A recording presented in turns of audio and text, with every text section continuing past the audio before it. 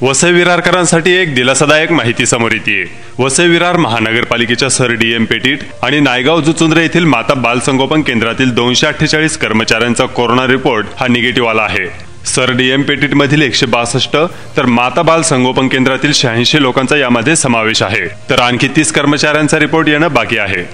Seal करण्यात आलेले sir DTM Petit रुग्णालयातील ओपीडी सुरू झाली आहे तर जुचुंद्र येथील माता बाल संगोपन केंद्र मात्र अद्याप सील आहे. वसईतील सर डीएम रुग्णालयातील सहा आणि माता बाल संगोपन केंद्रातील सहा असे एकूण बारा आरोग्य कर्मचारी कोरोना पॉझिटिव्ह आल्याने दोनही रुग्णालय सील केले होते. वसई विरार महानगरपालिकेचे महापौर प्रवीण शेट्टी यांनी याबाबतची माहिती दिली आहे bureau report HP live news Vasai.